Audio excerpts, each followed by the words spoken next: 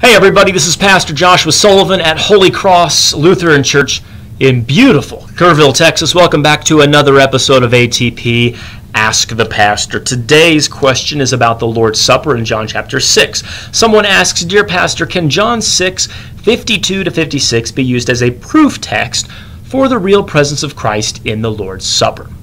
Well, let's check it out and see. John chapter 6, verse 52 The Jews therefore strove amongst themselves, saying, How can this man give us his flesh to eat? Then Jesus said unto them, Verily, verily, I say unto you, Except ye eat the flesh of the Son of Man and drink his blood, ye have no life in you. Whoso eateth my flesh and drinketh my blood hath eternal life, and I will raise him up at the last day. For my flesh is meat indeed, and my blood is drink indeed. He that eateth my flesh and drinketh my blood dwelleth in me, and I in him. Thus far the text. So, can this text that we just read be used as a proof text for the real presence of Christ in the Lord's Supper? When we say real presence, we mean that Christ is physically, corporally, uh, truly present in the Lord's Supper under the forms of bread and wine.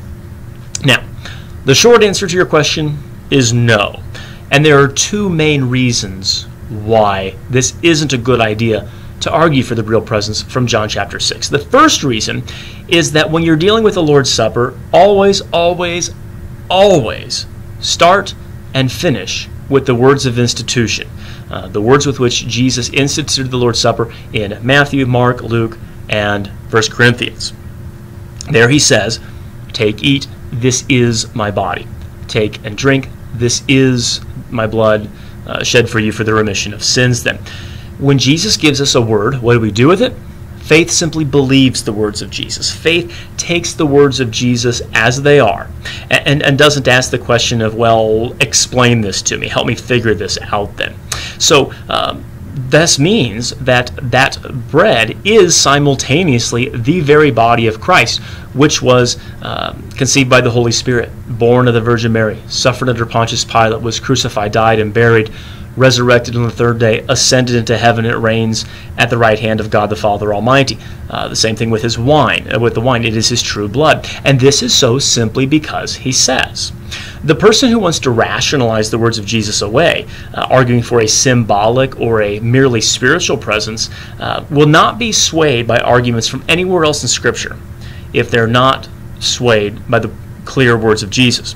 Now, if you're wondering, in Greek, the word estin always means is. It never means symbolizes. It never means represents. Um, again, you know, as, a, as an argument uh, that the Lutheran fathers always used. Uh, you know, this is his last will and testament, and so uh, you're not allowed to use symbolic or figurative language in your own last will and testament. Uh, so uh, the sacramentarians ha- have always wanted to do violence to this clear and simple passage of Scripture, these clear and simple words of Christ. Sacramentarian, I should back up uh, that's a word, uh, and a, title that uh, the Lutherans have always given uh, to those who want to deny the real presence of Christ and say there's no presence at all or there's only a spiritual presence. Uh, and so they just don't take the words of Christ as they are. Is means is. Now, the second reason why we don't rely upon this text, John chapter 6, uh, as a proof text for Christ's real presence in the Lord's Supper is the text itself.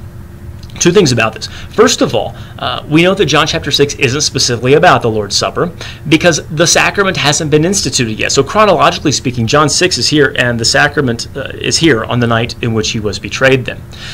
Uh, so, there's no reason to think that Jesus would be teaching a bunch of unbelieving Jews about it when he, has, he, he hasn't even instituted it for his own apostles yet. Now, Jesus does speak of baptism already in John chapter 3 to Nicodemus, but that's different because baptism has, had already been instituted and was already within use.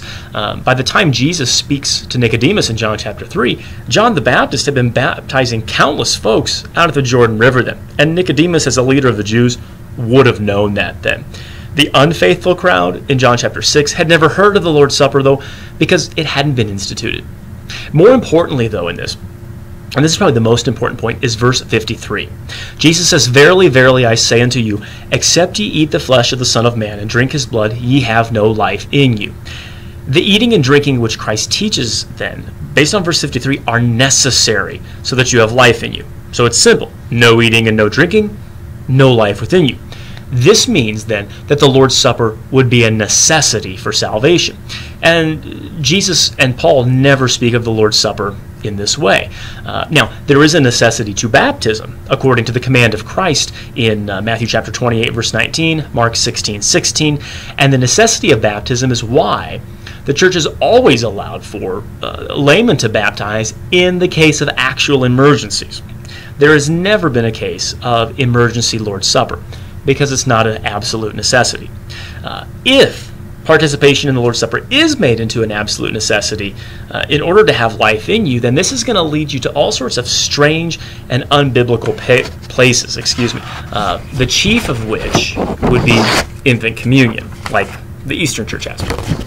Uh, so now, what is Jesus speaking of then in John chapter 6? Well, he's clearly talking about an eating and drinking that's necessary to have life. Uh, and so, what do we do with this? Well, we can see what Luther and the Reformers did with this. They taught that this is a spiritual eating and drinking.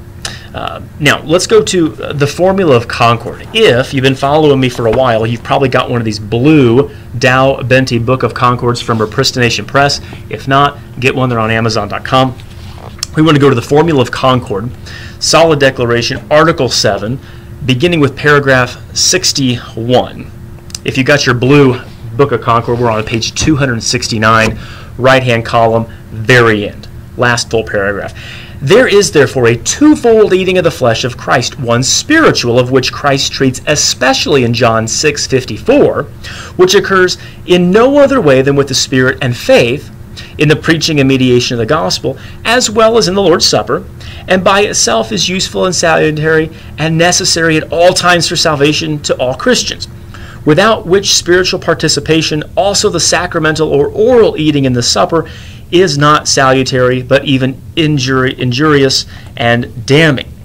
But this spiritual eating is nothing else than faith, namely to hear God's word, wherein Christ, true God and true man, is presented to us together with all his benefits that he has purchased for us by his flesh, given into death for us, and by his blood shed for us, namely God's grace and the forgiveness of sins, righteousness, and eternal life, and to receive it with faith and to appropriate it to ourselves, and in all troubles and temptations firmly to rely with sure confidence and trust, and to abide in the consolation that we have a gracious God. And then it goes on. And so the eating and drinking that Christ speaks of here, according to the Lutheran fathers, then, is faith in his word. Now, this jives with what Jesus says in John chapter 6 about this eating and drinking being necessary, because faith is necessary for salvation. No one is justified apart from faith in Christ's promises. Uh, and so, what he's telling the crowd in John chapter 6 is feast on me, believe my teaching, uh, that this is the body that I'm giving for the life of the world in my atoning death upon the cross this isn't so foreign to the Gospels. If we think about uh, Luke chapter 14, beginning with verse 16, there Jesus tells a parable of this great supper that everyone is invited to. And what is the great supper that the Lord has prepared for all people? It's the gospel. So, what do you do with the great supper? You eat it, you drink it. And how do we eat and drink Christ spiritually? By faith in His Word. Now, there is also then, as the formula said, a sacramental eating, an oral eating of Christ in the sacrament. That's what Jesus bids us to do in the words of institution. What that means is uh, when you eat and drink Christ's body and blood sacramentally, uh, you you must also be believing the words, "This is my body given for you. This is my blood shed for you for the remission of sins." And the formula goes on in the next paragraph or so uh, to address that as well. So in all of this, John 6 really shouldn't be used to prove Christ's presence in the Lord's Supper. Uh, I'd stay away from it because of these issues with the text, especially the issue in verse 53 of necessity. Uh, instead, when you're talking about the Lord's Supper and extolling the great benefits that it gives uh, and what it is, stick with the words of institution, believe them and firm, believe them firmly without doubting uh, that in that supper He gives you His true body and blood to eat and drink and through that true body and blood gives you his gracious promise of forgiveness, life, and salvation then. Thanks for your question. Real good one today. Uh, keep them coming. ATP Holy Cross at gmail.com. That's ATP Holy Cross at gmail.com. Send your question in. We'll put you in the queue and we'll get to you as soon as we can. We'll see you next time.